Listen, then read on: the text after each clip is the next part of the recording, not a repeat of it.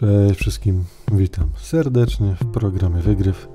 Dzisiaj kolejny raz Genshin i będziemy sobie rozmawiać o nowym Archon Questie Requiem of the Echoing Depths, czyli nie wiem, jakieś Requiem Echa Głębin, e, coś w ten deseń. Mm, poza samym przejściem się po Archon Questie i jego informacjach, a sporo fajnych rzeczy tam wynajdziemy, do kontekstu będziemy potrzebować też miejsca, w którym się to będzie rozgrywać, a konkretnie Dikazm. I tam się oczywiście przejdziemy na początek, e, a na sam koniec, no oczywiście jeszcze jakieś smaczki, które gdzie indziej się nie zmieściły z okolicy Dikazm oraz tego e, Questa, Archon Questa. Zatem zacznijmy sobie od miejsca Dikazm. Cóż to jest? Otóż jest to no, w takim dość luźnym tłumaczeniu przepaść, rozpadlina, otchłań, a konkretnie jest to nazwa miejsca w Liue, które znajduje się na północny zachód od portu i głównego miasta. Ehm, oczywiście miejsce to jakby zawsze było związane z krajem e, Liue, natomiast do tej pory dostęp tam był mocno utrudniony, e, jeżeli nie niemożliwy. Mm, ale w tym momencie e, troszkę rzeczy się podziało, które sprawiły, że również my razem z Paimon jesteśmy w stanie się tam zwyczajnie wybrać. Mm, jak wygląda to miejsce? No, troszkę jak Liue, przynajmniej z zewnątrz. E, górki oraz kolory, fauna, flora, mniej więcej ta sama. Natomiast wygląda to jak potężny wir skalny, taki lej, który leci do środka o olbrzymiej średnicy, e, w którego głębi czyhają, no właśnie, rzeczy, o których dowiemy się niebawem. E, w każdym razie, jak tak potężny lej i tak ciekawa formacja geologiczna została ukształtowana? No jak się możecie domyślać, otóż nie w sposób naturalny. E, co do tego, jak dikazm, bo tak chyba będę to nazywał, nie wydaje mi się, żeby żadna z polskich nazw jakoś przypadła mi do gustu na tyle, aby je używać, więc używał będę oryginału. Krótka historia mm, tego miejsca, ponieważ trzeba nadać jemu kontekst, ponieważ do tej pory mm, go nie było, a jest to dość mocno ważne po to, aby w pełni zrozumieć, czym jest ta oto miejscówka. Tak więc e, na podstawie zebranych faktów e, tutaj zebrałem to podsumowanie, chociaż część rzeczy raczej domniemam, ale według mnie historia w bardzo dużym przybliżeniu mogła wyglądać właśnie tak jak to, co w tym momencie przytoczę. Niemniej jednak mogę coś ominąć albo przekręcić, więc dla wnikliwych zajrzyjcie dokładniej e, sami. Natomiast około 6000 lat temu statek projektu Ark albo drugiego niemieckiego tronu rozbija się na Tejwat. E, jeżeli w tym momencie nie wiecie o czym mówię, to serdecznie zapraszam do jednego z poprzednich odcinków, e, gdzie mówimy sobie o enkanomii oraz początkach Tejwatu. Tam w pełni i no naprawdę długo się rozgaduję na temat właśnie pierwszego niebieskiego tronu oraz wspominam o projekcie ARK. Tak w bardzo dużym skrócie, jakby wkraczając w Hoyoverse, no bo oczywiście gry są połączone, E, więc początki ludzi na tym świecie, na tej wacie, w miejscu, w którym gramy w Genshina, pochodzą ze świata Honkai Impact. Według pierwszych podań, pierwszą osobą, która poddała ten świat terraformacji, był niejaki Fanes. Mm, I prawdopodobnie stało się to na długo przed wojną Archonów, która jest nieco lepiej udokumentowana, natomiast te same początki, no prawdopodobnie, wiecie, obca cywilizacja zaszczepiła źródło życia w tym konkretnym świecie. Mm, tak więc długo jeszcze przed wojną Archonów pojawił się właśnie Fanes jako jedna z osób z oddziału MOF. Oczywiście tutaj nawiązania mocne do Honkai Impact. Swoją drogą, e, niedawno a propos Honkaja przedstawiono nam pozostałych pozostałe osoby z spośród 13 chyba łowców płomienia, czyli MOW, czyli ćma, która leci do ognia. I jeżeli pamiętacie w książce przed, og, y, jak to było? przed Słońcem i Księżycem, wspominaliśmy o tym, że Fanes, poza tym, że wykluł się z jaja, no tutaj meteoryt albo statek kosmiczny, e, miał skrzydła i rogi. I zgadnijcie co? Jak popatrzycie na jedynego z przedstawicieli właśnie tych nowych e, motów, których niedawno nam Michojo przedstawiło, jeden z nich faktycznie i ma skrzydła i rogi. Więc zakładając jeszcze, co być może w trzecim chapterze e, Elysium Realm w Honkaju się dowiemy, mm, być może faktycznie był odpowiedzialny za projekt ARK, czyli projekt, który miał na celu e, w razie pokonania cywilizacji ludzkiej przez Honkai nieść ewentualnie e, życie do innych światów. No i według teorii i możliwych scenariuszy, tak właśnie życie zawędrowało na Teyvat. E, w każdym razie, no, uderzył ten statek, prawdopodobnie projektu ARK, w ziemię, w miejsce, które kiedyś prawdopodobnie było morzem e, albo zatoką. No ale pod wpływem uderzenia, e, no, góry przede wszystkim z dna morza się wypiętrzyły, co widzimy do dzisiaj. E, piasek, oczywiście, który gdzieś tam był pod powierzchnią, zeszklił się w bardzo mocny i ciekawy sposób. No a woda, oczywiście, przy takim uderzeniu odparowała, a wszystkie żyjątka morskie zostały wprasowane w skały przez potężną siłę, która je tam skierowała. I takie, nie wiem, czy to amonity, czy jakieś inne takie żyjątka morskie, jesteśmy w stanie później, penetrując głębiny dikazm, mm, odnaleźć.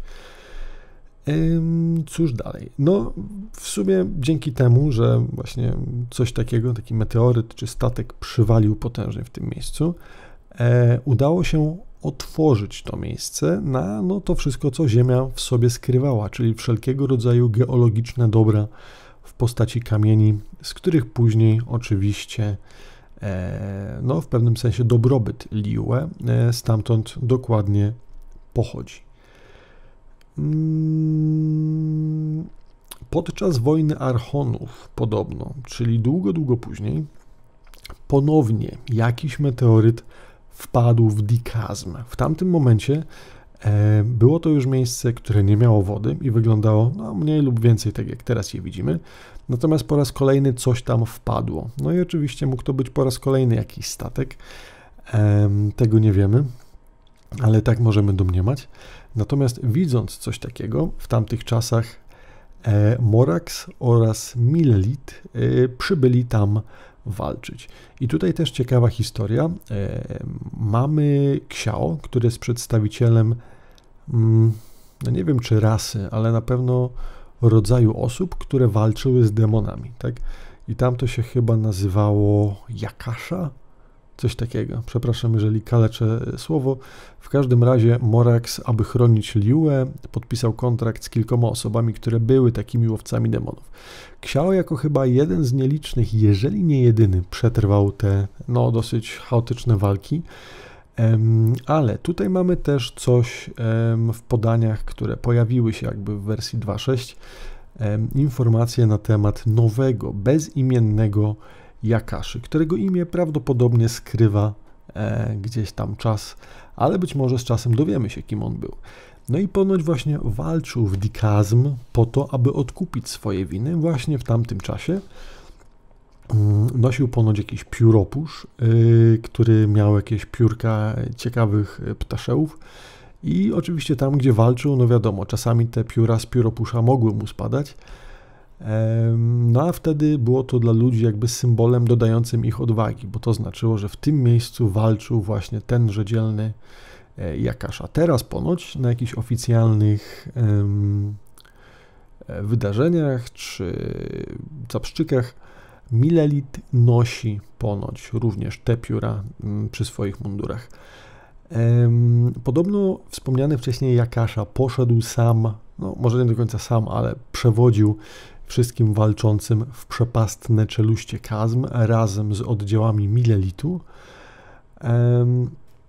No i właśnie, jakby pierwszy raz wydaje mi się, tutaj e, dowiadujemy się, że no, przynajmniej ja jakoś dopiero zarejestrowałem, że mieliśmy wspomniany ten kataklizm sprzed x gdzieś tam lat. E, no i ponoć tutaj podczas właśnie też tego wydarzenia sprzed 500 lat, kiedy to Kaenria zniknęła z mapy świata, a jak już wiemy, w Inazumie również działy się również niepokojące rzeczy i różnego rodzaju stwory zaczęły atakować to miejsce. Ponoć właśnie, czy to za sprawą tego drugiego meteorytu, który tam wpadł, czy za sprawą czegoś innego, również z Dikazm zaczęły nadciągać dziwne, przeróżne stwory, którym właśnie wspomniany bezimienny Jakasza oraz oddziały straży Liue e, stanęły na drodze i które rozbijali brnąc aż do wnętrza e, wspomnianej lokacji. Tak więc y, ciekawe jest to, że te 500 lat temu faktycznie nie tylko to, co się działo, y, miało wpływ na Kaenrię, ale realnie prawdopodobnie na każdy z krajów, który jest na Teyvat. Mm, jako, że Kaenria wydaje mi się była całkiem niedaleko, chociaż nie, teraz mogę coś ściemniać, e, ale wydawało mi się, że była ona niedaleko Mondstadt, Mondstadt, czy jakoś tak. E, więc e, jeżeli tak, no to jakby to, co tam się stało, było bezpośrednim gdzieś tam, no, dostało rykoszetem. Mm, w Inazumie mieliśmy oczywiście stwory, które tam atakowały i jak już wiemy ze smutnej historii, Raiden A e, pozbawił jej większości przyjaciół, no ale jakimś e, sposobem udało się ocalić kraj. No i tak tutaj w, Ina, w Liue również tego typu walki miały miejsce. Myślę, że warto o tym wspomnieć, bo do tej pory, ja przynajmniej, myślałem o tym, że te wydarzenia w Kaenria dotyczyły tylko tego miejsca.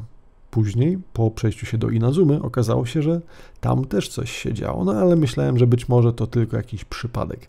Natomiast teraz wydaje się, że to, co miało miejsce faktycznie 500 lat temu, było grubo zakrojoną akcją która prawdopodobnie nie oszczędziła żadnej części kontynentu. No ale o tym możemy się dowiedzieć tylko, jeżeli będziemy nieustannie grać i poszukiwać informacji, bo na razie za wiele o tym nie mamy. Hmm. Cóż jeszcze warto wspomnieć? Niedaleko wspomnianego Dikazm e, żyła również jedna ze starszych cywilizacji, w ruinkach, które nazywają się Duniu. I historia tego miejsca jest opisana w książce e, Zapiski Juyun, Records of Juyun, czy jakoś tak. I fragment nazywa się Ukryty Szmaragd albo Hidden Jade. W skrócie jest to historia o tym, jak cywilizacja, która tam mieszkała, która była dosyć stara, e, po jakimś czasie, po wydarzeniach właśnie sprzed 500 lat, no niejako granicząc albo będąc całkiem niedaleko od Dikazm, musiała ostatecznie zapieczętować miasto i zostawić je za sobą. Tam później do ruin tego miejsca jesteśmy w stanie oczywiście w grze dotrzeć, jest to jakby fragment mapy, natomiast samo miasto przez mieszkańców zostało zapieczętowane, a oni sami zaczęli e, jakby przenosić się na brzeg i tak prawdopodobnie powstało, albo przynajmniej urosło, urosło Liue. Mm, jeszcze przed chyba samym, samymi wydarzeniami w Kaenri 500 lat temu, tutaj jakby wracając z powrotem do Dikazm, Kaenrianie albo no, osoby, które tam żyły, w sensie osoby z tego kraju, e, poszukiwały czegoś w okolicy Dikazm. Do przeczesywania e, bezkresnych głębin tego miejsca używały robotów, które wyglądały no, konstrukcyjnie troszkę inaczej, bo trochę jak czerwie z Duny, natomiast e, samą estetyką przypominały dość mocno te stwory, które już znamy, które były wcześniej tworzone właśnie przez Kaenrię, czyli różnego rodzaju roboty bojowe. I tak samo te właśnie e, takie, nie wiem, dżdżownice gigantyczne były używane do e, po prostu sprawdzania tego, co tam jest. I mamy nawet możliwość później z kilkoma z nich e, na miejscu tam e, walczyć. Mm, no ale cóż, y, Kenria zostaje ostatecznie pokonana te 500 lat temu. Jakieś niedobitki prawdopodobnie ludzi i być może resztki robotów zostają tam na miejscu. Część robotów zostaje, ludzie prawdopodobnie nie przeżywają w związku z e, klątwą, która jest na nich nałożona. Mm, a następnie, e, no właśnie, następnie, czy to było wcześniej? Tu mogę też coś chronologicznie mieszać, ale przynajmniej tak, żebyście wiedzieli, co w okolicy Dikazm się działo. E, było to też chyba miejsce, gdzie Ashadha i Morax e, się poznali i chyba ostatecznie walczyli. E, Ashadha to jest jeden z pierwszych smoczych władców, czyli ten śmieszny boseł, który wygląda trochę jak byk, a trochę jak smok ten, który jest w stanie zaciągać różnego rodzaju elementy i ma dwie swoje fazy, kiedy to właśnie zmienia te elementy. Mm, ponoć żył kiedyś w tym miejscu i ludzie, którzy wydobywali właśnie różnego rodzaju kamień, prawdopodobnie już mieszkańcy Liue wtedy, e, gdzieś tam zaczęli uszkadzać e, leylinesy, i energię, która przez nie przepływa, co spowodowało, że Ashada się e, no, wiem, wpadł w szał albo po prostu stwierdził, że nie może tego tak zostawić.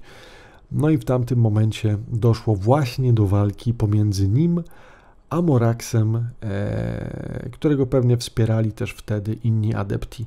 No i zakończyło się to później uwięzieniem Ashadhy i jakby no, Mm, prawdopodobnie dalszą eksploracją tego miejsca. Cóż jeszcze? Mm, mm, w chwili obecnej, e, w, w głębinach, gdzieś tam bardzo, bardzo głęboko pod ziemią, znajdujemy coś, co wygląda jak czarna maź, która sobie gdzieś tam wypływa i wygląda to troszkę jak jakiś efekt zatrucia, być może energią otchłani.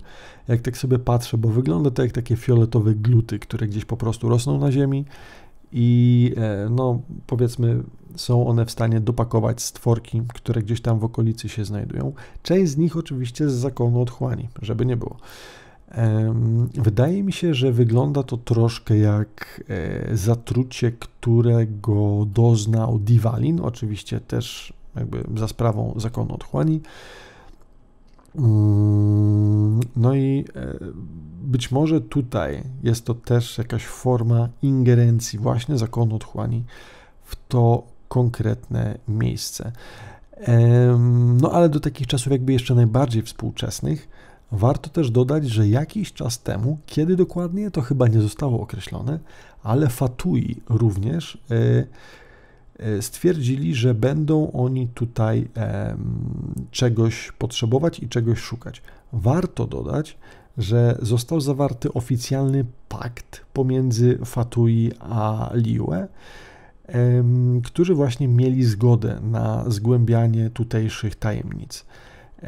Fatui sami twierdzili, że robią to po to, aby walczyć z Celestią e, i aby robić to za wszystkich, albo żeby walczyć tam jakby w imię wszystkich innych nacji.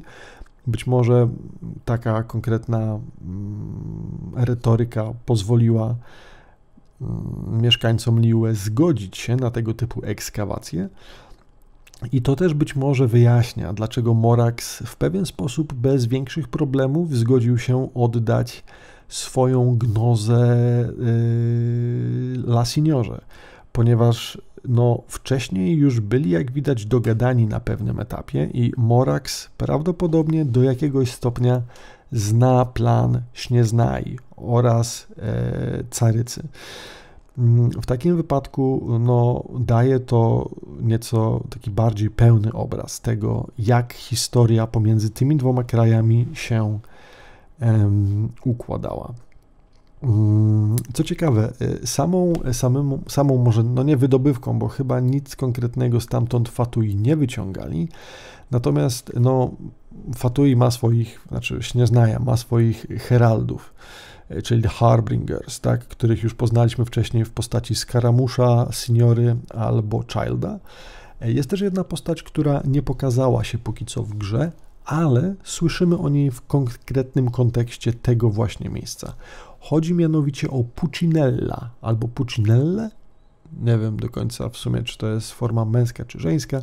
W każdym razie e, Herald o imieniu Pucinella e, jakby zarządzał tą wyprawą, konkretnie tutaj, której celem było zbadanie prawdopodobnie tych głębin, aby być może, jak sami później będą twierdzić, e, mieć możliwość walki z Celestią. I tu już chyba pierwszy raz oficjalnie pada to stwierdzenie, że walka, którą podejmujesz nieznaja, jest walką za wszystkich, jest walką z obecnym panteonem, a przynajmniej no jakby tą najwyższą władzą, która e, siedzi nawet nad archonami.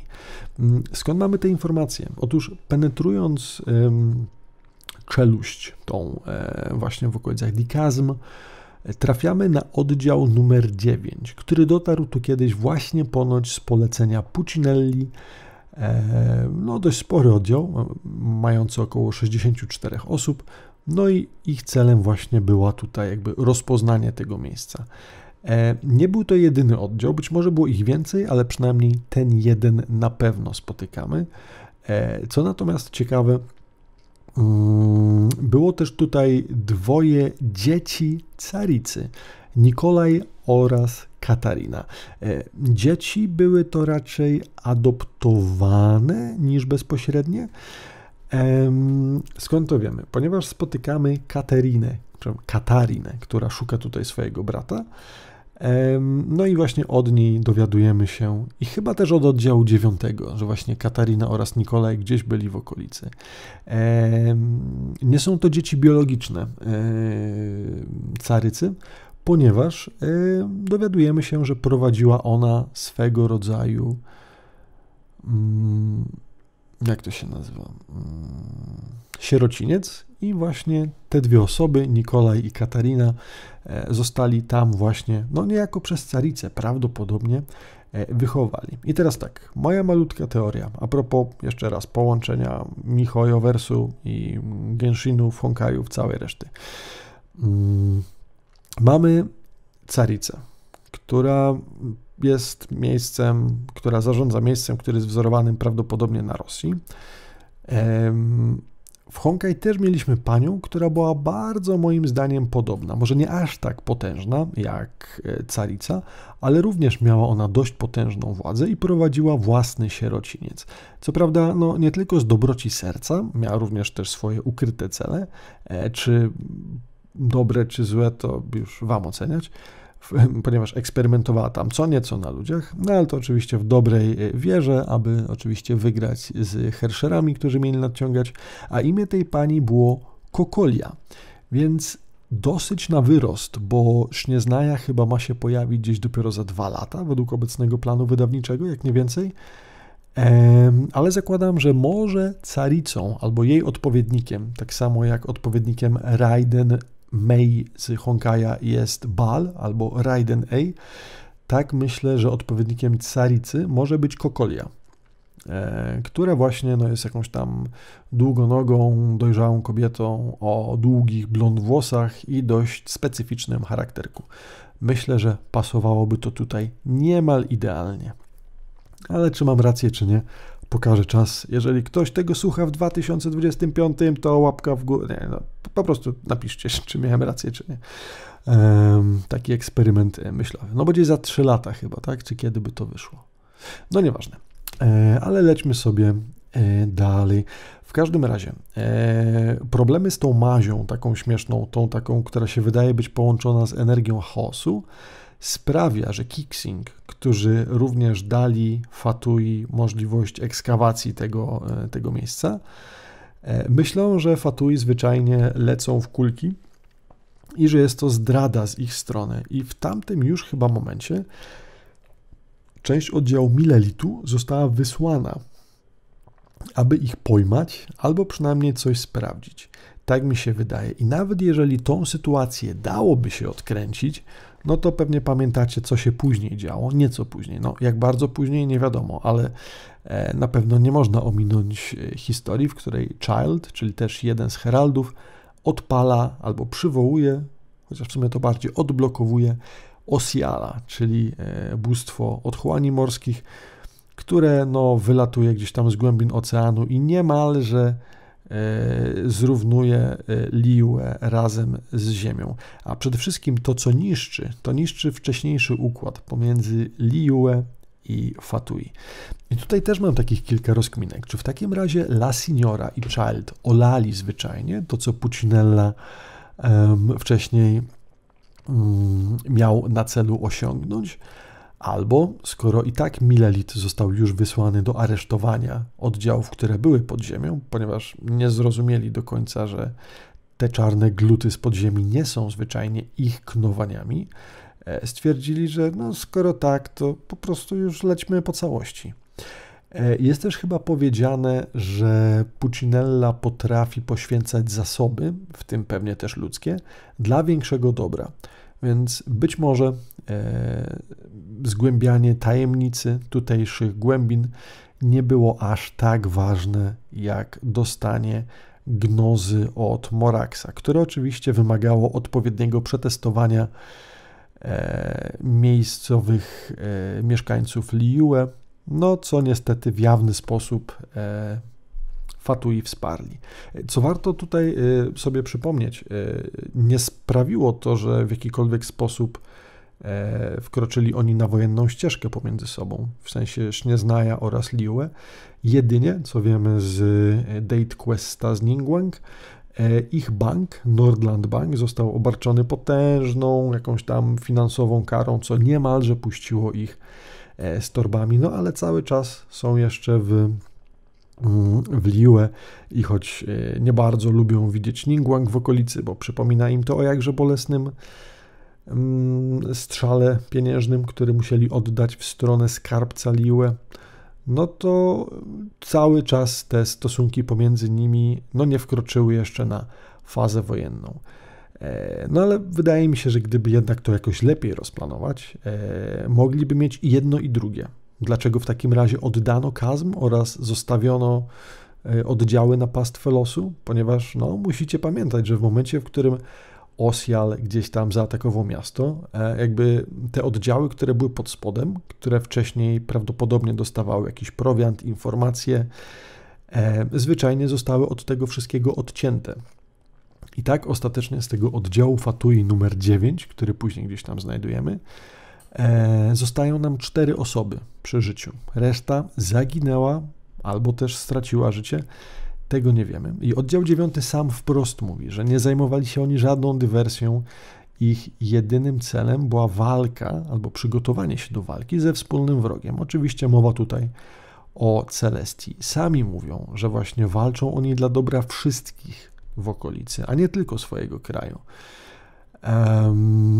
No i cóż, Żal mi tylko ich w takim razie, że no niestety ani Pucinella, ani e, La Signora nie byli w stanie jakże swoich, no myślę, że dość mocno mm, porządnych i wiernych e, żołnierzy nie wyciągnęli spod spodu. Co ciekawe, zostały tam również e, no, przynajmniej dwójka przybranych dzieci caricy, wspomniany wcześniej Nikolaj i Katarina, którzy prawdopodobnie podzielili los innych w Dikazm ponieważ no, wyjść stamtąd jest niełatwo, zwłaszcza jeśli zapuścicie się zbyt daleko. Hmm. Dobrze, cóż my tu jeszcze mamy? Hmm. No tak, no czyli mamy już tą sytuację, cały czas próbując wyjść do świata obecnego.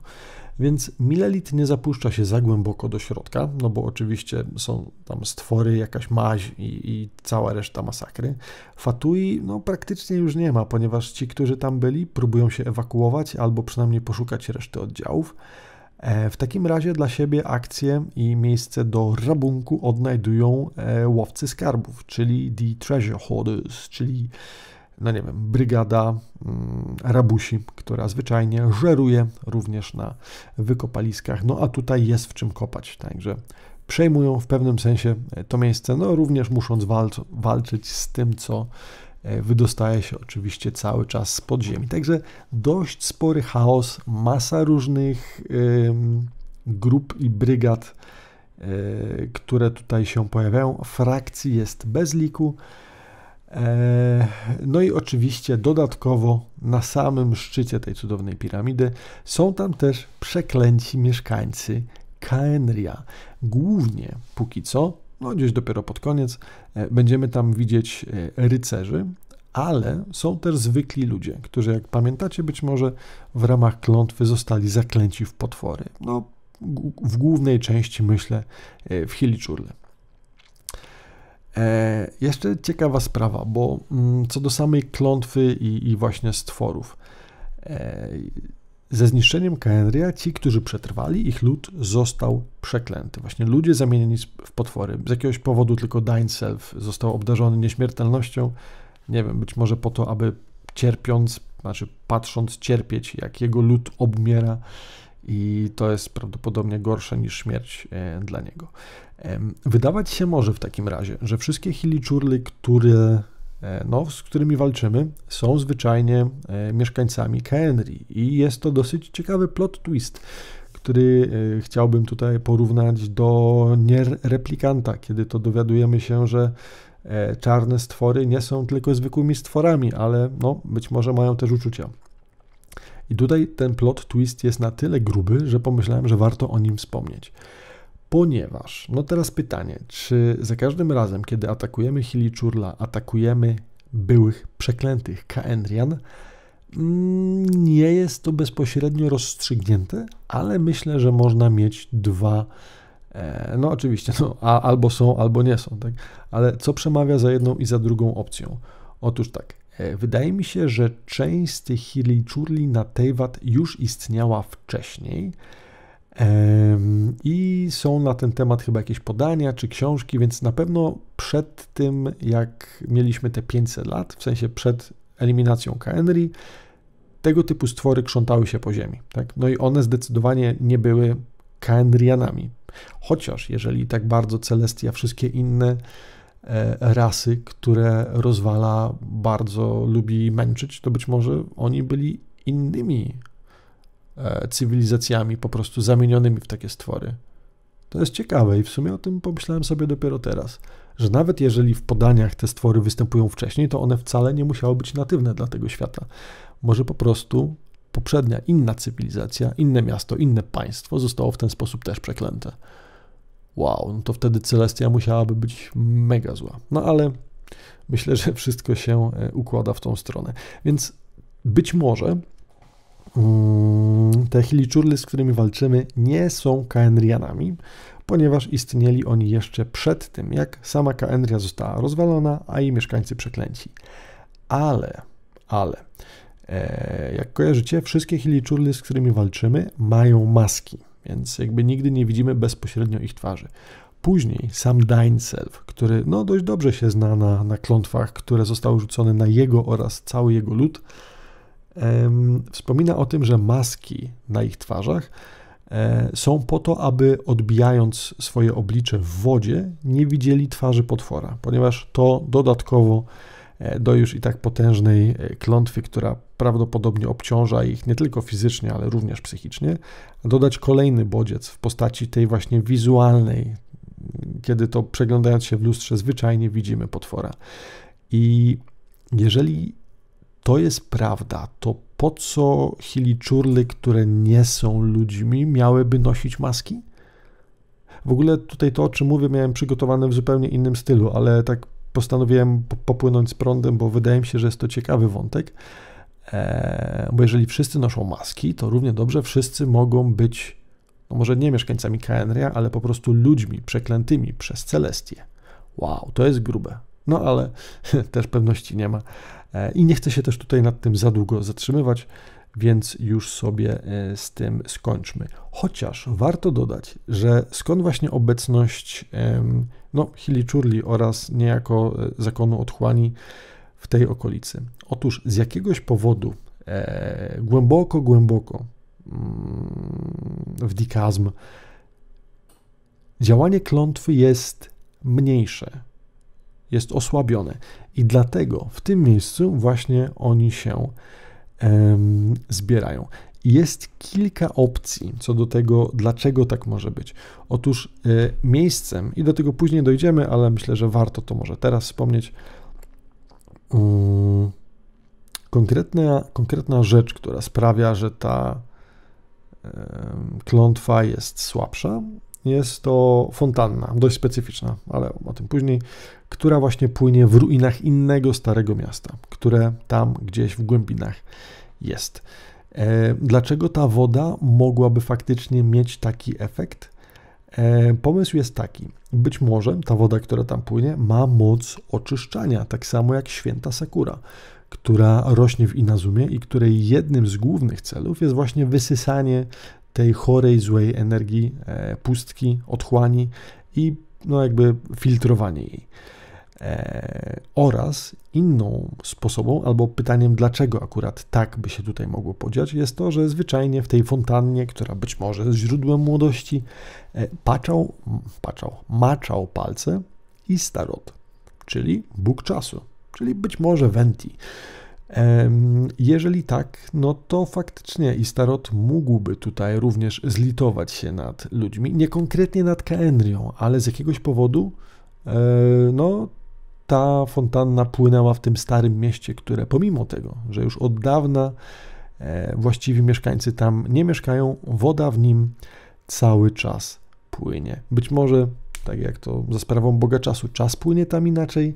W ogóle w całym dikazm jest też podejrzenie, że czas może płynąć inaczej, ale no, o tym się jeszcze, mam nadzieję, kiedyś em, dowiemy.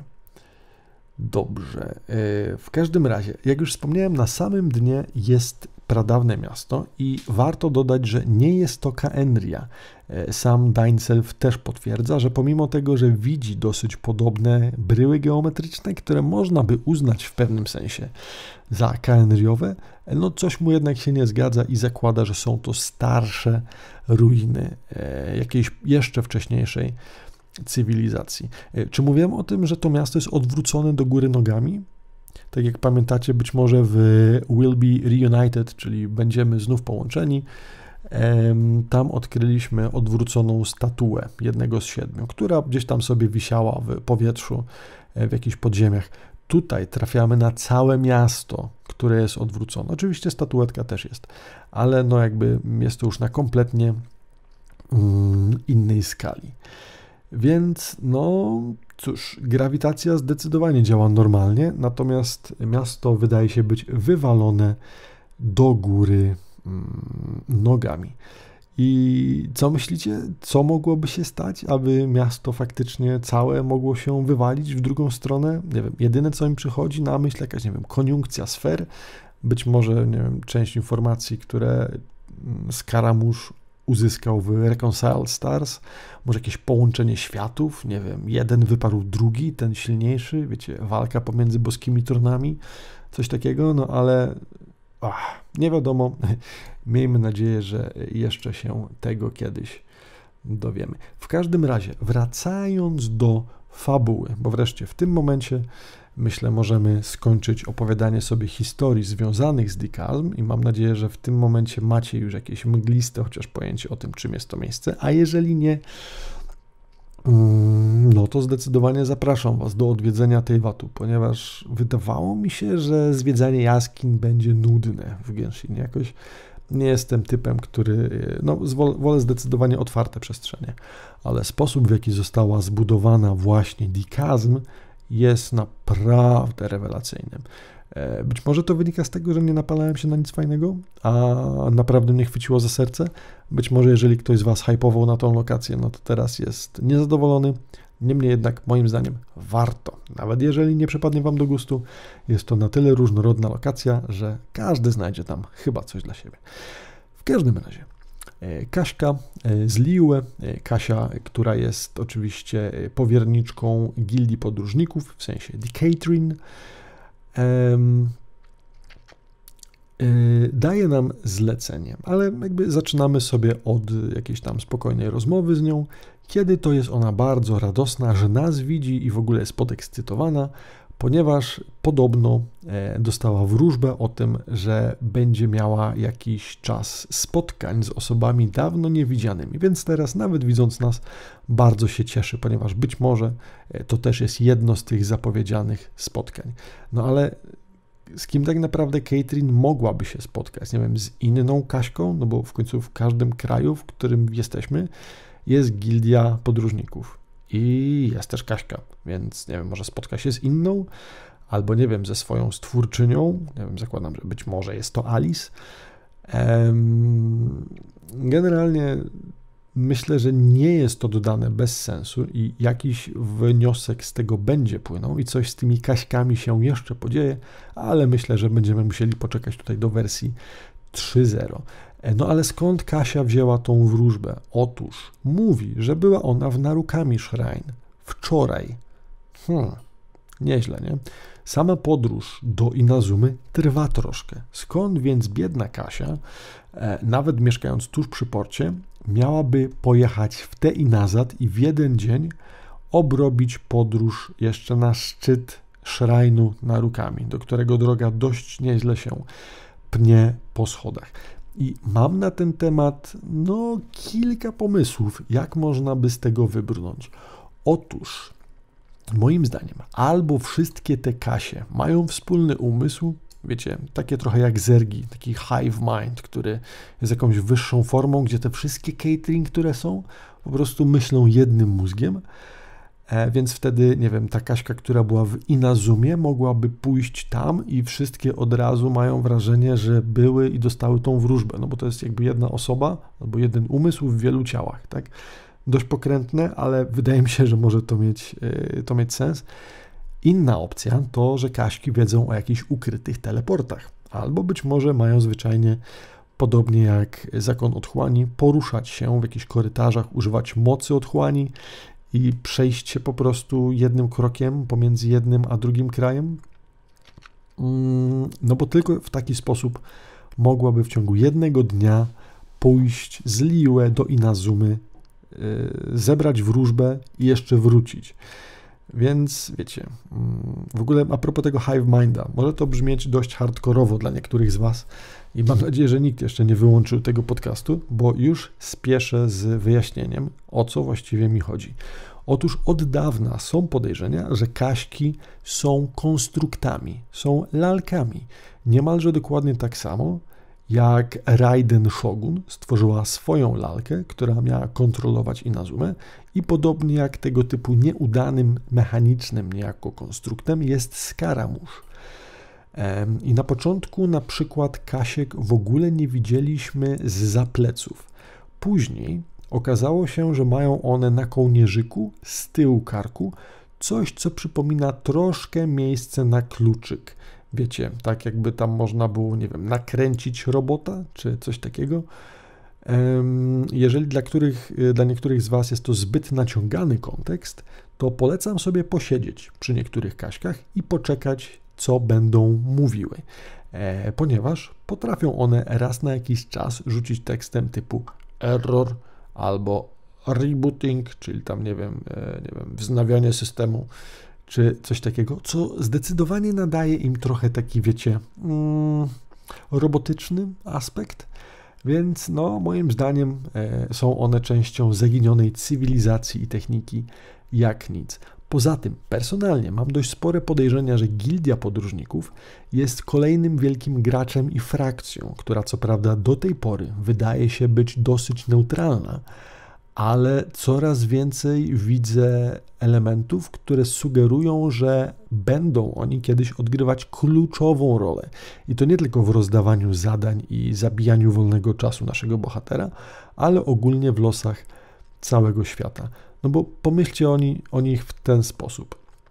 Mm, wydają się być póki co bierni, niby nie mają swojego kraju, ale tak naprawdę są wszędzie. Nawet w Inazumie, która była już dawno temu odcięta przez dekret Sakoku, e, mają tam całkiem niezłą i prosperującą gildię. E, dodatkowo, wiecie, no, są wszędzie, prawie tak samo jak zakon otchłani, co nie? I tamci też nie mają kraju. E, nie jestem w ogóle pewien, czy gdzieś to przeczytałem. Próbowałem dzisiaj odnaleźć te informacje na nowo, ale mi się nie udało. Wydaje mi się, że e, ten, tą gildię założyła Alice. ale mogę się mylić. Gdzieś jestem pewien, że to czytałem dzisiaj, próbowałem znowu do tego dotrzeć, nie udało mi się. Jak macie gdzieś jakieś namiary do źródeł, e, piszcie proszę w komentarzach na YouTubie i będziemy wtedy mieli e, jakiś punkt odniesienia. W każdym razie, mm, dodatkowo, i to jest myślę klucz, który w tym momencie w mojej głowie przekręcił kilka trybików. E, kojarzycie powitanie Kaśki, te, które standardowo się pojawia i wszyscy przewijają, a ona za każdym razem radośnie je powtarza? Ad astra abyssoko. E, co można, z łaciny oczywiście, tłumaczyć na do gwiazd i otchłani. Hmm, ciekawe, co nie? No i wiecie, jest to łacina, tak? No wiecie, do gwiazd i gdzieś tam w pustkę, czy w przestrzeń, czy w otchłań, no dobra, spoko, fajnie, no mówi tak, bo mówi, bo to brzmi kule. Niby tak, ale zauważyliście jeszcze, gdzie w tej grze używana jest łacina? Za każdym razem, jak wchodzicie do domen, to są miejsca te, gdzie walczycie z jakimiś stworkami na arenie, a później po ich pokonaniu podchodzicie do drzewka Irminsul i one daje wam jakieś tam artefakty i takie tam rzeczy, nie? To jest domena. Eee, mówię o tym, bo sam często zapominam tą nazwę, no ale w każdym razie e, tam pojawiają się różnego rodzaju znaczki, takie trochę hieroglify, troszkę, wiecie, jakieś takie niby niezrozumiałe literki. Było też tego mnóstwo w enkanomii, jest to również w dikazm. Mm, co się udało naszemu cudownemu fandomowi rozszyfrować? Otóż każda z tych liter ma swój odpowiednik w literach, które my normalnie znamy. I większość tekstów, które się pojawiają w różnych miejscach, odpowiadają zwyczajnie e, jakimś tam literom, dzięki czemu jesteśmy w stanie przetłumaczyć sobie część z tych dziwnych rzeczy, które w ruinach na przykład się pojawiają. Ale czekajcie, to wcale nie jest koniec. E, moim zdaniem, jeżeli cywilizacje, które były niemalże pierwsze na tym świecie, jak zaginione rzeczy w ruinach Dikazm, albo Enkanomia, czyli pierwszy niebiański tron, który uformował niejako tą ziemię, e, swoje napisy i runy używali właśnie w języku antycznym i niezrozumiałym praktycznie przez większość w tym momencie, czyli łacinę, no to jeżeli to jest normalne powitanie, którego używa Kaśka, jak bardzo podejrzane to jest? Moim zdaniem dość bardzo. E, w ramach jeszcze samej łaciny oraz e, no, zaginionych tekstów i tak e, warto myślę też dodać, że w dikazm odnajdujemy pewien list albo w sumie poemat. I jest to ciekawe, bo Wydaje mi się, że e, w momencie, w którym się to odnajduje, to jakby jesteśmy w stanie odczytać tylko jedną linijkę tekstu, oczywiście zapisaną tym kodem, który po translacji jesteśmy w stanie gdzieś tam przepisać na łacinę, a później to przetłumaczyć. Jesteśmy w stanie zebrać cały poemat. E, nie wiem, czy każdy gracz dostaje jeden, ale jakoś udało się w, w każdym razie całość tego wziąć i, e, i odnaleźć. Jeżeli słuchacie tego na Spotify'u, to nie macie pomocy gdzieś tam wizualnych, natomiast jeżeli jesteście na YouTubie, to prawdopodobnie mój lamerski montaż w tym momencie wrzuci Wam to wszystko gdzieś na ekran. E, I tak, e, postaram się tutaj przetłumaczyć to, jak ten poemat biegnie. E, oczywiście wcale nie po łacinie ani nie po angielsku, tylko próbując moje biedne tłumaczenie na polski Wam tu przytoczyć, tak aby możliwie sens jak najmniej na tym ucierpiał, chociaż no wiecie, jak to przy translacji z jednego języka, a później z drugiego na trzeci może być różnie. Ale uwaga, lecimy, melorecytacja teraz. Nawet jeśli nie jestem obrońcą Kenria ani Inazumy lub trzymającym lirę Barbatosem, nawet jeśli nie mogę latać jak Pegas, ani białe, szybkie, bezkształtne karoce wraz z uskrzydlonymi bogami latającymi w powietrzu, pragnę prędkości wiatru. Przyjacielu, zaufaj mi. Moje kości zmęczone, zaafektowane wieloma chorobami. Przyjacielu, gdy Cię szukam, niebiosa spadną i kłamstwa opadną. Dość hardkorowe, prawda? Ale poza tak naprawdę wspominką samej Kaenri oraz Barbatosa, jest to zwyczajnie poemat napisany przez dawnego rzymskiego poetę Catullusa, który, no, numer tego poematu, no, nie żeby miał jakiś tytuł, ale prawdopodobnie historycy e, nadają mu nazwę 58b. Więc jest to no, w pewnym sensie parafraza tego tekstu, która być może tutaj bezpośrednio w jakiś sposób odwołuje się do e, naszych wydarzeń.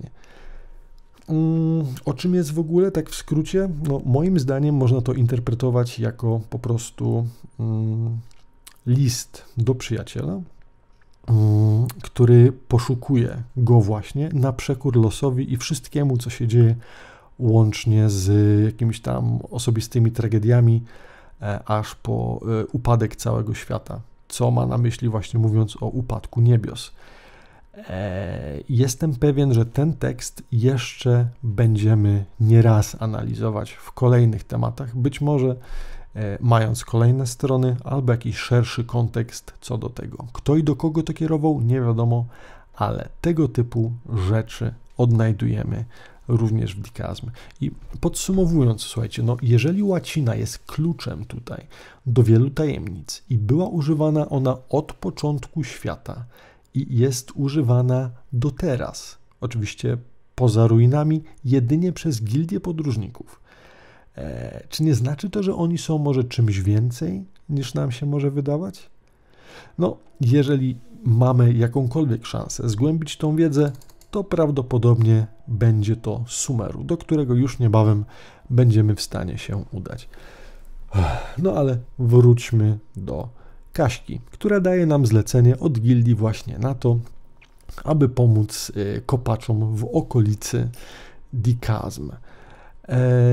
Chodzi o to, że widziano tam jakąś sporą liczbę hiliczurli, które wchodziły do kopalni, ale nie wychodziły. I w pewnym momencie zaczęło to zwyczajnie dawać do myślenia lokalnym górnikom, którzy wezwali gildię na pomoc w rozwiązaniu tej no interesującej zagadki. Mm. I wydaje mi się, że jeszcze pod koniec wspomina ona o czymś, że zapadniemy się w otchłań i nie wiem, czy tutaj ma na myśli jedynie wejście w dikazm, czy być może nasza przemiła Kasia wie więcej i lepiej, gdzie my się udajemy, niż my sami? Taka wiecie, szara eminencja? nie mam pojęcia, ale no idziemy w każdym razie do miejsca, które cały czas jeszcze dla szarych obywateli nie jest specjalnie dostępne. E, musimy odbyć miłą rozmowę z, ze strażnikami, którzy po chwili gdzieś tam nas przepuszczają dalej. No i ostatecznie docieramy do naszego pracodawcy. E, w takim dużym skrócie, no jakby mm, wejście do kopalni prawdopodobnie jest gdzieś z boku, tak? Jakieś mniejsze z prawej i z lewej. I to jest też jedna rzecz, której nie do końca rozumiem, jak macie to jakoś wyjaśnione, to dajcie znać. E, skoro w tym momencie część górników oraz te hiliczurly gdzieś wchodziły, to po jakiego grzyba nasz bohater, Eter, e, odpieczętowuje potężną pieczęć, która zasłania główne, ale także potężne wejście, e, które wygląda jak wyłom, który prawdopodobnie mógł zrobić tylko meteoryt albo spadający statek. Nie mam kompletnie pojęcia, czemu nie użyto żadnego bocznego tunelu, aby to zbadać, no bo gdzieś tam te stwory musiały wchodzić, tak? No ale tutaj jakby mm, niekoniecznie. Mm, no. No, w sensie, czemu nie odpieczętować jakiejś potężnej, wielkiej pieczęci, która strzeże tego miejsca, a najwyżej wypuścimy jakieś zło na świat. A co? Przynajmniej nie będzie nudno. Tak mi to niestety póki co E, wygląda. No poza tym jakby to nudno wyglądało, gdybyśmy wchodzili jakimś bocznym tunelem, a jakże epicko jest, kiedy odpieczętowujemy potężną e, barierę. E, no i ostatecznie docieramy do wnętrz jaskini, która wygląda troszkę jak krasnoludzka Moria, moim zdaniem. Przynajmniej wiecie, patrząc na ilość przestrzeni pod ziemią, no naprawdę nie przypomina to takich typowych tuneli. Jest to bardziej coś na rodzaj no, dość, myślę, podobny rodzaj przestrzeni jak Enkanomia. E, natomiast no, mamy tutaj taki troszkę poziomowy układ. Nie jest to wszystko na tym samym poziomie, tylko cały czas w naszych badaniach i dążeniach będziemy zapadać się coraz głębiej i głębiej, aż do wnętrza Ziemi, aby kolejne tajemnice sobie e, rozplątywać. I tak odnajdujemy brygadę z gildii, która właśnie ma tam swoje cele, też między innymi geologiczne rozpoznanie terenu, no i razem z nimi, e, że tak powiem, udając się, natrafiamy e, na coraz to nowe miejsca. Aby dostać się głębiej, musimy część korytarzy sobie utorować, zwyczajnie wysadzając fragmenty ścian, aż po miejsca, gdzie, uwaga, uwaga, trafiamy znowu na kolejną pieczęć. E, ta wygląda troszkę jak jakiś zaawansowany technologiczny byt, i fruwa jakby w takim dziwnym otoczeniu geometrycznych kształtów, które troszkę przypominają mi to, czym e, nieznane bóstwo próbowało atakować wcześniej nasze rodzeństwo, kiedy jeszcze było razem.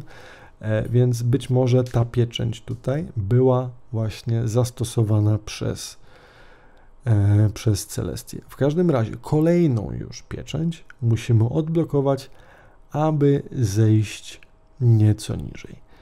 I tak oto trafiamy wreszcie do wspomnianego już wcześniej odwróconego miasta. Hmm.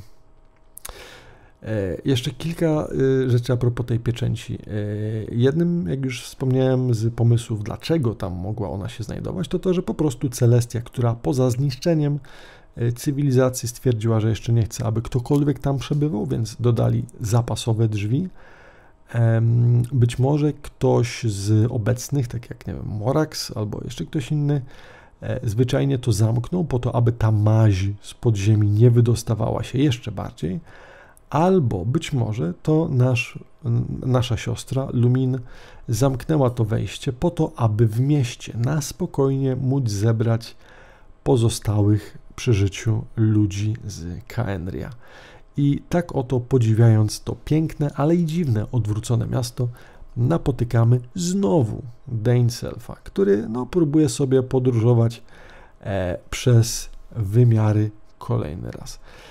Mm, stwierdza on, że te ruiny, które tutaj, no oczywiście poza tym, że jesteśmy zdziwieni, że na siebie wpadamy, no to stwierdza on, że te ruiny są dużo starsze niż Kenria, pomimo tego, że no niby mogłyby pasować jak na to, ale też co ciekawe, e, mówi właśnie o tym, że tutaj klątwa Celestii wydaje się być nie aż tak uciążliwa i że jest to w sumie miejsce, w którym pierwszy raz jest, więc prawdopodobnie gdyby kiedyś już odnalazł takie miejsce, gdzie ta klątwa jest słabsza, być może korzystałby z niego częściej. No ale tu dotarł e, tylko i wyłącznie po raz pierwszy. No ale skąd w ogóle wziął się tutaj Dainsel? Tak, chłopak mówi, że wskoczył do portalu, goniąc jakiegoś tam e, tego mm, chaośnika. E, tak samo jak wcześniej próbował gonić naszą siostrę, kiedy to za pierwszym razem w kwestii Will Be Reunited próbował za nią pobiec. No my zdecydowanie nie zdążyliśmy, on zdążył, ale no on sam mówi, że niestety nie udało mu się, ponieważ zamiast za Lumin dotarł gdzieś do leża Storm Terrora. No wiecie, domena to jest generalnie domena zakonu otchłani i Dane mówi o tym, że nie są to bezpośrednio, wiecie, tunele, które łączą dwa różne miejsca, ale są to jakby labirynty korytarzy, którymi można dotrzeć do różnych miejscowości. Więc już wiemy, że na pewno mamy wejścia do tego, no, do, tego, do tej sieci tuneli. W jednym miejscu pod Liuę, gdzie mieliśmy tą pojedynczą, zbezczeszczoną statuę. Wiemy, że wejście na pewno tam jest w okolicy mm, tego e, leża Storm Terrora. No i oczywiście tutaj, czyli właśnie przy ruinach niewiadomej cywilizacji w głębi Dikazm. Mm. Wydaje mi się, że te korytarze mogły być na przykład tworzone gdzieś za pomocą przejścia przez Sea of Quanta, ale no nie wiadomo. Ale tak to sobie próbuję jakby e, tłumaczyć tym całym e, hojowersowym dobrobytem wiedzy, który mamy w tym momencie dzięki Honkajowi. No w każdym razie idziemy sobie to miejsce zdecydowanie zbadać. I w którymś momencie widzimy, że obserwuje nas jakiś rycerz, natomiast e, po chwili odchodzi on gdzieś dalej i e, dopiero później będziemy go jeszcze e, oglądać. Ostatecznie docieramy do miejsca, gdzie pojawiają się dawni rycerze Kaenria i zaczynamy z nimi walczyć. Okazuje się, że były to, później się okaże, że nie są to zwyczajnie jakieś tam, no nie wiem, bezmózgie maszyny do walki, tylko ci rycerze, którzy tam nas atakowali, zwyczajnie bronili Hiliczurli. Otóż, jeżeli faktycznie to miejsce sprawia, że klątwa jest słabsza, część z Hiliczurli, która już ma, no, czuje, że ich życie dobiega kresu, podążają do miejsca, gdzie swego życia mogą dokonać. I jako, że to miejsce, które osłabia właśnie tą, ten dyskomfort związany z klątwą, jest idealnym wyborem na to, aby się tam właśnie dostać. Więc y, no, widzimy tam właśnie grupki hiliczurlów, które są gdzieś porozkładane w jakichś takich ciemnych miejscach i zamiast gdzieś tam standardowo tańczyć, czy biegać, czy nie wiem, latać z dzidami, zwyczajnie leżą jakby nieruchome i prawdopodobnie czekają na nadchodzący mm, koniec. Y, Cóż jeszcze a propos tego? Mm, Dainself mówi o tym, że ci rycerze za dawnych czasów byli właśnie zarządzani przez niego, czyli przez kapitana Straży Królewskiej. On sam w dawnych czasach nosił nazwę e, miecza zmierzchu albo Twilight Sword. E, więc no, w pewnym sensie e, rozpoznaje zbroję e, swoich rycerzy, którzy tam chyba noszą nazwę wężowych rycerzy, czy coś takiego, Serpent Knights, jakoś tak to się chyba nazywało. Korzystając jakby z chwili tego, że wspomina swoją przeszłość, pytamy go wprost o Lumin i o rodzaj ich znajomości. No i przyznaje, że kiedyś oni podróżowali razem, ale niestety podróżowanie po tym świecie w poszukiwaniu sensu no nie skończyło się dla nich pomyślnie, ponieważ ich drogi się rozeszły. Jak niedługo usłyszycie, każdy z nich obrał swoją ścieżkę na dopięcie, no powiedzmy, że podobnego celu. I zastanawiam się tylko, na ile tutaj podróż Dain Selfa oraz Lumin będzie taka sama jak podróż Etera oraz Paimon, ponieważ no wydaje mi się, że pewna paralela może tutaj E, nastąpić, ale pewności nie ma. W każdym razie mm, e, przypomniały mi się też w tym momencie słowa Abyss Lectera, tego, którego spotkaliśmy w, e, w Enkanomii, który stwierdził, że nasz bohater zwyczajnie zbyt mocno jest ufny i kiedyś Paimon też może go zdradzić. Czyżby może to był jakiś hint, że coś takiego dojdzie do skutku? No, pozostaje nam czekać i sprawdzać, czy tak będzie, e, czy nie. Jeszcze co do samych Hiliczurli i co do tego, że jakby tutaj próbują dokonać swojego życia, e, ponoć częścią klątwy jest też erozja. Erozja osoby, ale nie tylko fizyczna, ale też erozja duszy czy osobowości, która sprawia, że właśnie no, zatracają oni swoje człowieczeństwo, na rzecz być może zostania faktycznie takim bezmyślnym stworem, potworem, który jest już w stanie tylko latać z dzidą i nie robić nic więcej. I to ciekawe, bo ta cała erozja, o której już wcześniej wspominała nam Ei, to był w sumie powód, dla którego ona zdała swoją, e, swoją władzę do Raiden Shogun, czyli lalki, która miała zarządzać krajem z jej ramienia właśnie w obawie przed tą e, erozją e, Ej jakby oddała swoje cielesne ciało, które stwierdziła, że jest tym głównym problemem miejsca, a sama udała się medytować na swój plan Eufymii. E, I w tym wszystkim zastanawiam się tylko tak, jeżeli przez te 500 lat umysły właśnie na przykład Hiliczurli i innych były w stanie zerodować, jak przez ten czas, jakim cudem Dainzel trzyma się cały czas. Albo zwyczajnie chłop ma niezłomną i stalową siłę e, umysłu, którą cały czas dowodzi, że no, był faktycznie odpowiednim kapitanem w odpowiednim miejscu. E, a jeżeli nie, być może chłop zna jakiś sposób na to, aby powstrzymać tą całą erozję. Pamiętajmy, że przecież archoni, którzy żyją przez kilka tysięcy lat, również, no przynajmniej w wizualny sposób jej nie doświadczają. Więc być może jest jakiś sposób na obejście tego dziwnego wydarzenia. Mm. Dobrze. A, no ominąłem jeszcze jeden ciekawy fakt. W ogóle przed możliwością wejścia do tego miasta było ono zabezpieczone jakąś taką barierą czy bańką. Y, I Dainself stwierdza, że, bo oczywiście Paimon i my od razu mówimy, juhu, lecimy, na pewno są takie rzeczy do odblokowania, jakieś zagadki czy coś takiego. Dainself mówi, żebyśmy się nie kłopotali, ponieważ, uwaga, uwaga, jest on biegły w wiedzy Kaenria oraz używaniu mocy otchłani. Czy zatem można by postawić znak równości pomiędzy Kaenrią oraz używaniem tej właśnie mocy, czyli mocy otchłani? Myślę, że nie byłoby to błędem i skłaniam się ku temu, aby faktycznie myśleć o Kaenri i zakonie otchłani jak o tym samym, jako tej samej frakcji. Natomiast no, to, co pozostało z Kaenri, stworzyło właśnie zakon otchłani, którym obecnie dowodzi Lumin. Myślę, że nie będzie błędem, jeżeli będziemy, przynajmniej póki co, myśleć o tym e, w ten sposób. Mm, dobrze. Y, chyba później kolejny raz trafiamy na rycerzy, którzy znowu bronią tych dogorewających hiliczurli i żołnierzy jest coraz więcej i przybywają to nowe i nowe posiłki, ale powstrzymuje je ruchem ręki pewien koleś w zbroi.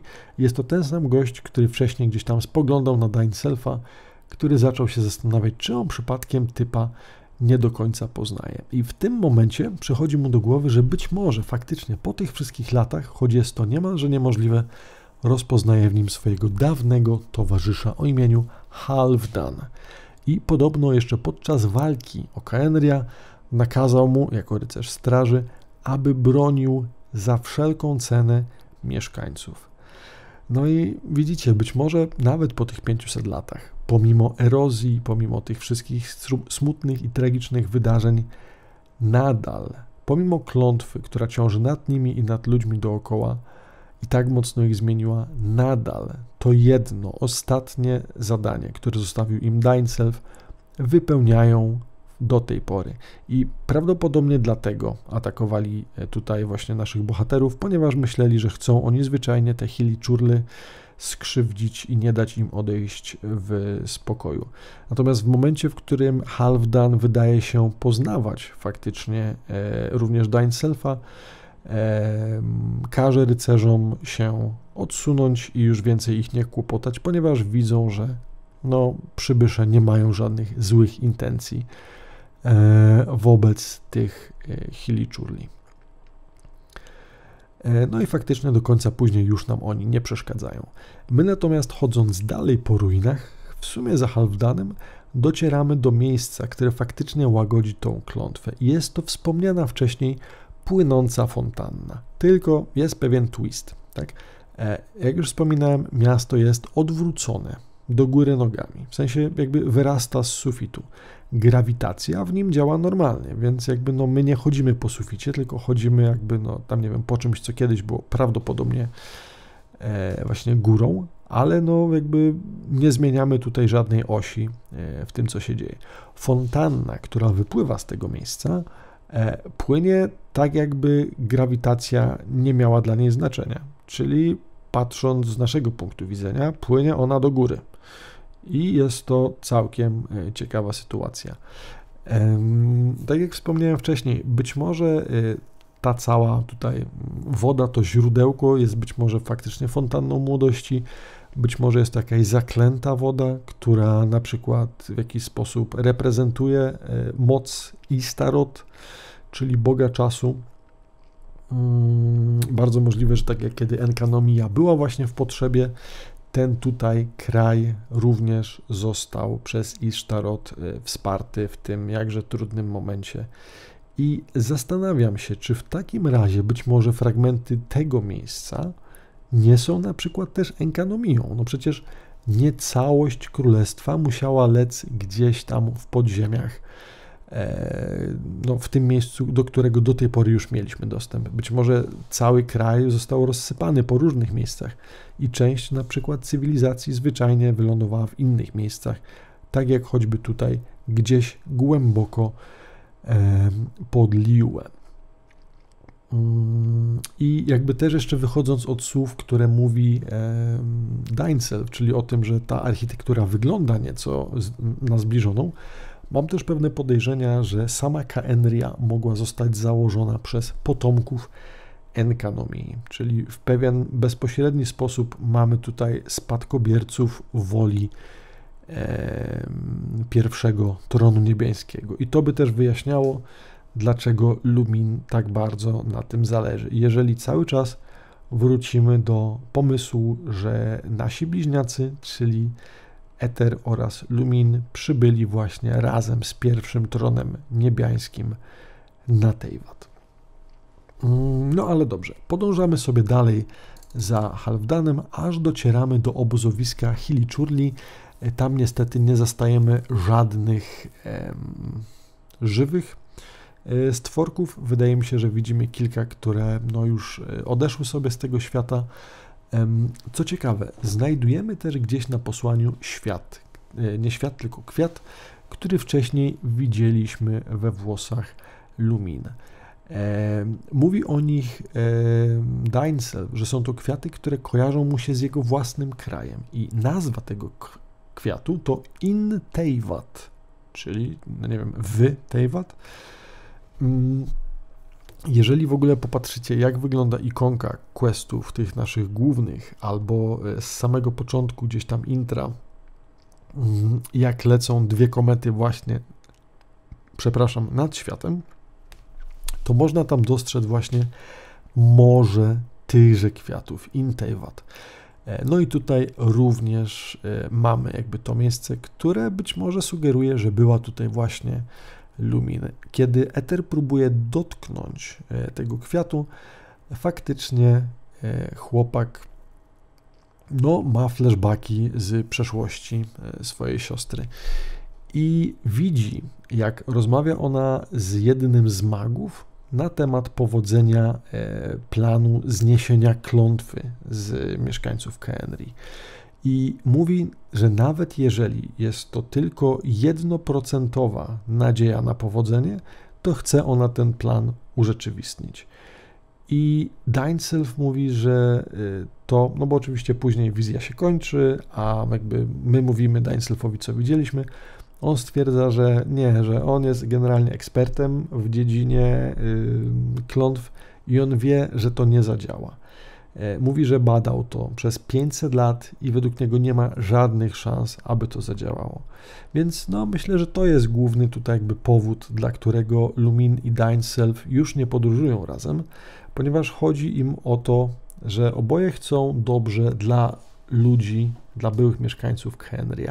I o tyle, o ile Lumin wydaje się, poza oczywiście toczeniem walki z Celestią, i z Archonami tutaj na miejscu, Yy, próbuje również odczynić te czary, które zostały rzucone na jej lud. Natomiast Dainsel zwyczajnie woli e, jakby pasywnie podejść do tematu i nie walczyć z, prze, z przeznaczeniem, tylko zwyczajnie po prostu w spokoju, z godnością odejść, tak jak te hiliczurly, które tutaj przybyły po to, aby dokonać swoich ostatnich dni e, i już pożegnać się e, z tym światem. Mm, Ether ma tutaj jakby dylemat moralny, ponieważ nie wie, czy stanąć do końca po stronie Dain Selfa, czy być może po stronie swojej siostry, ale wydaje się, że retoryka Daina y, przekonuje go i przynajmniej przez jakiś czas chłopaki zamierzają e, podróżować i działać razem. Wracamy więc do odwróconej fontanny, gdzie okazuje się, że rozpoczyna się rytuał.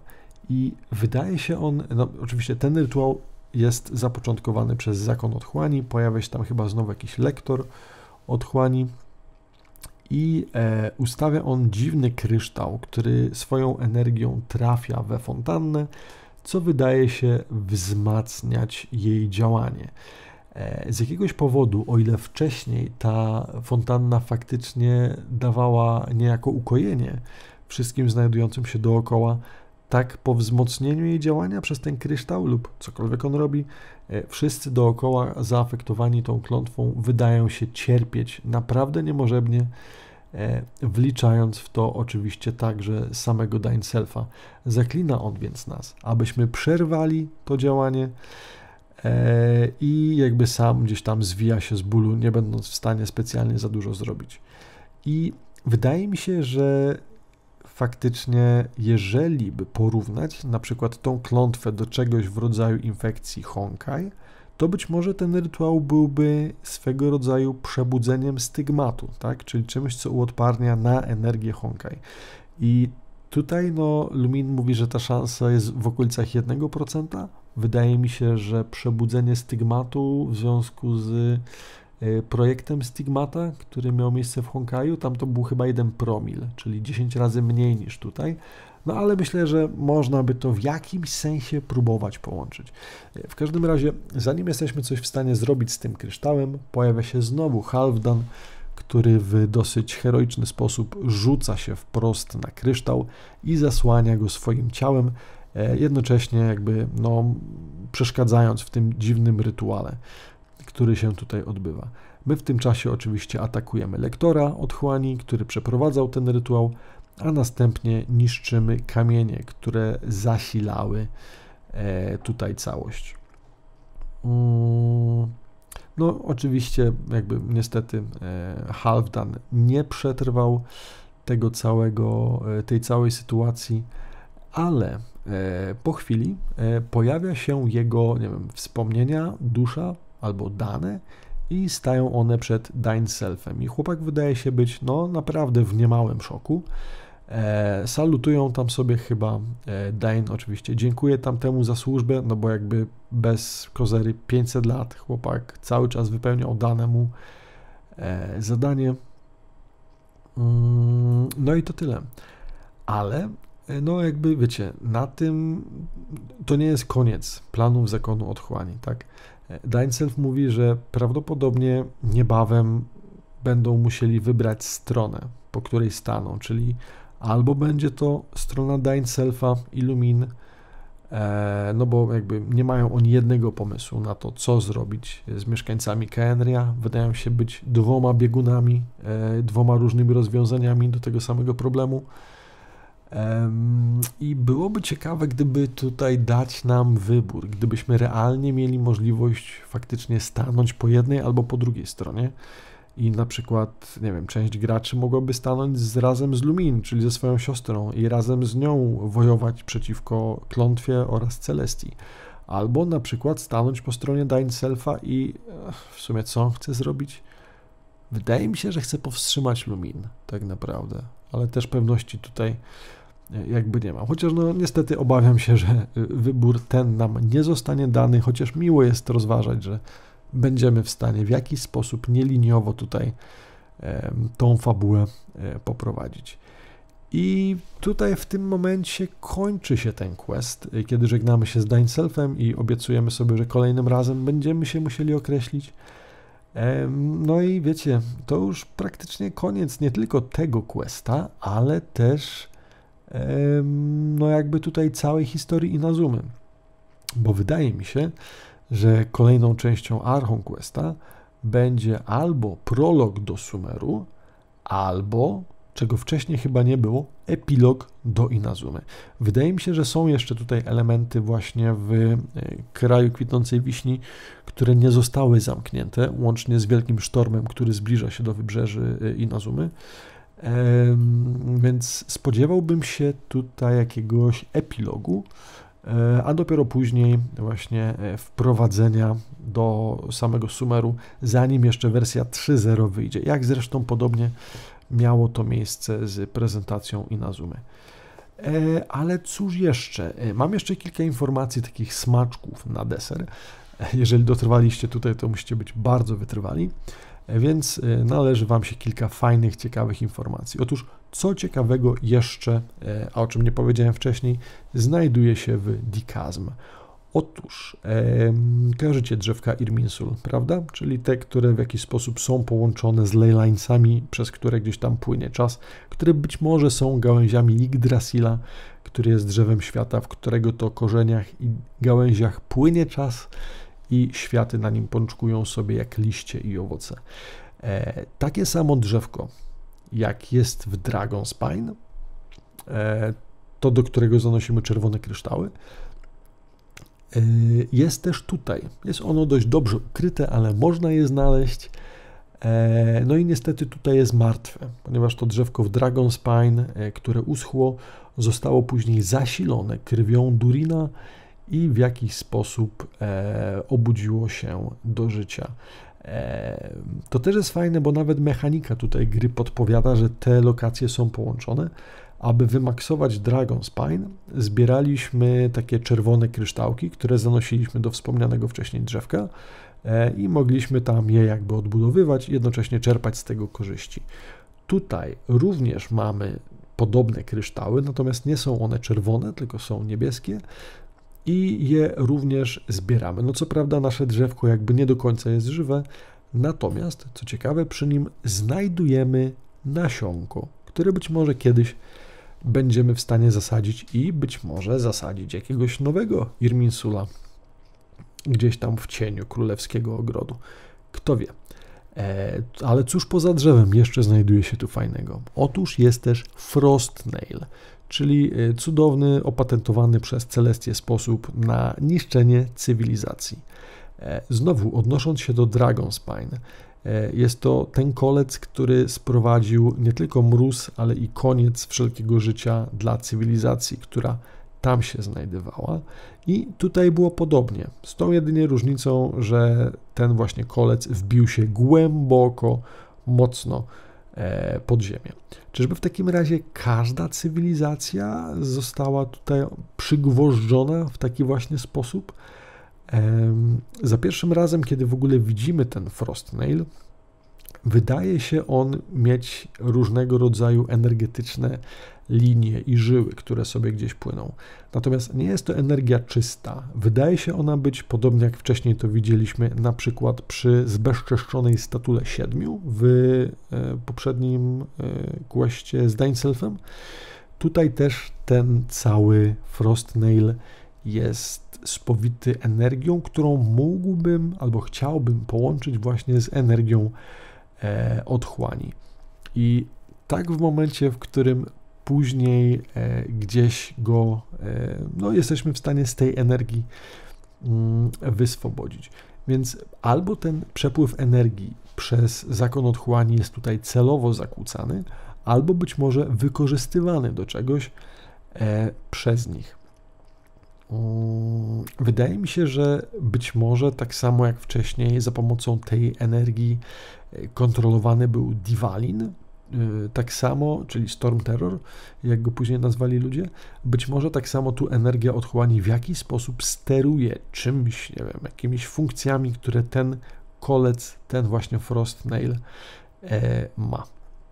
W każdym razie, gdy oczyścimy dostatecznie e, tenże cudowny e, fragmencik z e, mocy pustki i otchłani, pojawia się jeden z kopaczy Kaendria, czyli ta wspomniana wcześniej mechaniczna koparka, która wygląda troszkę jak czerw z Duny, e, no i musimy z nim walczyć. E, wydaje się chłop być no, dosyć silny i wydajemy się mieć z nim dość spore problemy, kiedy to na szczęście ktoś z boku strzela i wydaje mi się, że to właśnie tenże Frostnail strąca co również wydaje się być dość ciekawą energią, e, albo przynajmniej mocą, ponieważ no, nie wydaje się to być osiągalne, moim zdaniem, dla zwykłych śmiertelników, aby coś takiego osiągnąć. I o ile nasz bohater chyba tego nie do końca widzi, my oczywiście wiemy, że ten gwóźdź, kolec czy fragment kamienia, który spadł i unicestwił stwora, został zestrzelony przez Jelan, czyli nową postać, która już w kolejnej aktualizacji będzie dostępna do grania i jest to pani z Ministerstwa Spraw Cywilnych, która albo współpracuje, albo jest być może jedną z Kicksing Ja bym stawiał, że jest to jednak jakaś współpracowniczka Ningguang, która na najwyższym poziomie odpowiada za tutejsze właśnie sprawy cywilne e, w tym kraju. Dlaczego pojawiła się tak głęboko pod ziemią? Nie mam bladego pojęcia, ale na pewno jeszcze mm, się tego całkiem niebawem dowiemy. E, I zostaje mi tylko jeszcze ewentualne podsumowanko, chociaż część tego już chyba poruszyłem, a mianowicie e, co dalej. No bo jak dobrze pamiętacie, w Will Be Reunited, czyli pierwszym kwestie, który mieliśmy z Dainselfem, no wieńczył on jakby tamtę, tamtą część historii i później od razu mieliśmy prolog y, oraz Inazumę. Więc jeżeli teraz w 2.6 mamy Dikazm Genshina, w 2.7 zakładam, że będziemy mieli prawdopodobnie epilog do Inazumy, a w wersji 2.8 już prolog do Sumeru. I prawdopodobnie po 2.8 wskoczymy sobie od razu na 3.0, kiedy to wreszcie będziemy w stanie dostać się prosto w zawiłe korzenie i gałązki drzewa, w którym to Sumeru sobie e, istnieje.